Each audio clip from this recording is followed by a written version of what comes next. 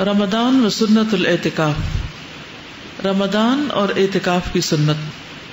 अल्लाह ताला का कुर्ब हासिल करने के लिए इबादत की गर्ज से मस्जिद में रहना एतिकाफ कहलाता है। यानी वल कल्ब मुतवजह जिस्मानी तौर पर भी और कल्बी तौर पर भी अल्लाह सुबहान तला की तरफ़ मुतवजह होना और मस्जिद में बैठकर। वैसे तो इंसान बाज़ार में भी हो तो दिल किसकी तरफ़ मुतवजह होना चाहिए?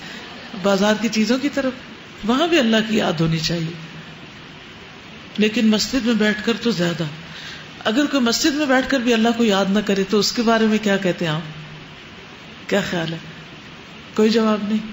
एक ऐसा अमल है कि मस्जिद में बैठकर भी इंसान अल्लाह को याद ना करे और उसका दिल दुनिया की बातों में और इधर उधर लोगों के रवैये पे जाता रहे। क्योंकि अभी आप एतकाफ बैठने वाले इनशाला तो उस वक्त कहीं ऐसा ना हो कि आपका नफ्स आपको ओवर पावर कर जाए। और बजाय इसके कि आप अल्लाह ताला की तरफ़ मुतवजह हो, आपकी रूहानियत स्ट्रांग हो, आप इधर उधर ये देखने में वक्त गुजार दें कि लोग क्या कर रहे हैं। और फिर हो सकता है कि ज़्यादा गुस्सा आए किसी की किसी हरकत पर तो किसी दूसरे से ज़िक्र भी शुरू कर दे। तो उससे क्या होगा? एतकाफ मुकम्मल हो जाएगा। नहीं होगा। अधूरा रह जाएगा। हो सकता हो ही ना। तो इसलिए बहुत ज़रूरी है कि एतकाफ के लिए इंसान पूरी तरह अल्लाह सुबहान तला की तरफ़ मुतवजह हो। ये सुन्नत मक्दा किफाया है।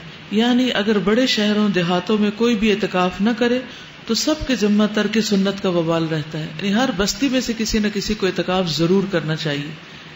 और अगर कोई एक भी एतकाफ कर ले तो सबकी तरफ़ से सुन्नत अदा हो जाती है।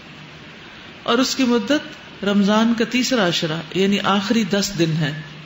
इस मुद्दत में दुनियावी कामों, नफसानी ख्वाहिशात दिल पसंद मशागिल और अहलो अयाल से अलग होकर खुद को सिर्फ़ अल्लाह की इबादत के लिए वक्फ कर दिया जाता है। हज़रत अबू हुरैरा से रवायत है कि नबी सल्लल्लाहु अलैहि वसल्लम हर साल रमज़ान में दस दिन एतकाफ फरमाते थे, लेकिन वफात के साल में आपने बीस दिन एतकाफ किया।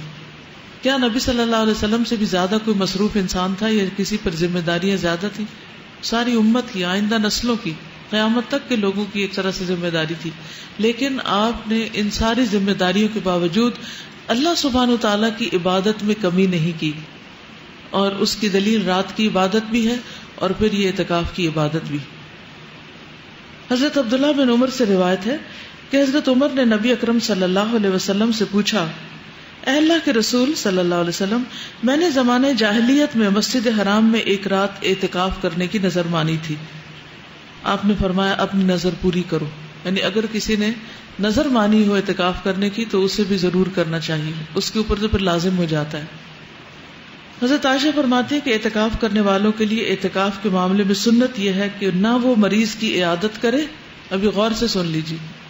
ना वो मरीज़ की इयादत करे, ना जनाजे में जाए, ना औरत को हाथ लगाए, ना उससे मुबाशरत करे, न किसी हाजत के लिए मस्जिद से निकले सिवाय उस हालत के कि जिसके लिए मस्जिद से निकलने के सिवा कोई चारा ना हो।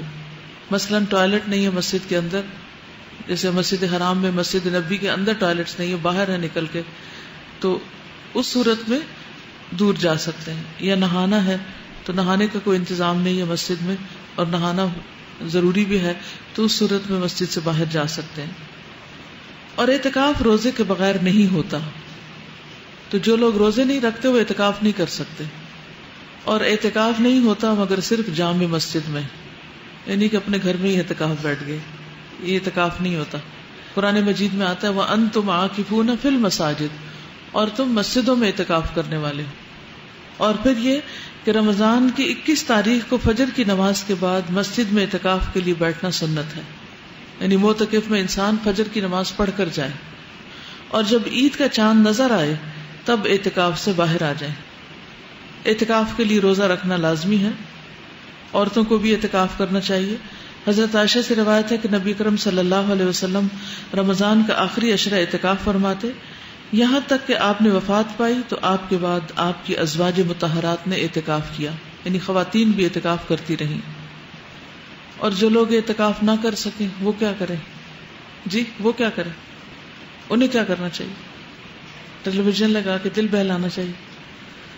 वो भी अपने वक्त का कुछ हिस्सा सारे कामों को छोड़कर किसी एक गोशे में, घर के सबसे अंदर वाले गोशे में अलग बैठकर कुछ ना कुछ वक्त ज़रूर गुजारें। ये सब कुछ छोड़कर अल्लाह की तरफ़ मुतवजह होना जो है, इसके अपने फ़ायदे और ये इंसान की ज़रूरत होती और मसला, इस वक्त भी आप एक अच्छा काम करें, लेकिन साथ साथ सोशलाइजिंग भी हो रही इसका अपना फ़ायदा है। लेकिन जब आप बिल्कुल अकेले तन तनहा होते हैं और सिर्फ़ वन ऑन वन अल्लाह सुबहान तला के साथ होते हैं तो उसका मज़ा ही कुछ और है। अगर मुकम्मल दस दिन का एहतिकाफ करना ना मिले तो आप आखिरी तीन दिन बैठ जाइए, लेकिन वो मसनून एहतिकाफ नहीं होगा। अगर वो ना हो तो आखिरी एक दिन बैठ जाइए। अगर एक दिन नहीं तो चंद घंटे के लिए बैठ जाइए। लेकिन कुछ वक्त तन्हाई में ज़रूर गुजारिए, इबादत की हालत में, रोज़े के साथ, दिन के वक्त। ठीक? रात को तो ताक आते हैं ही, लेकिन दिन की इबादत मुराद है। याद रहेगा? इंशाल्लाह, ठीक।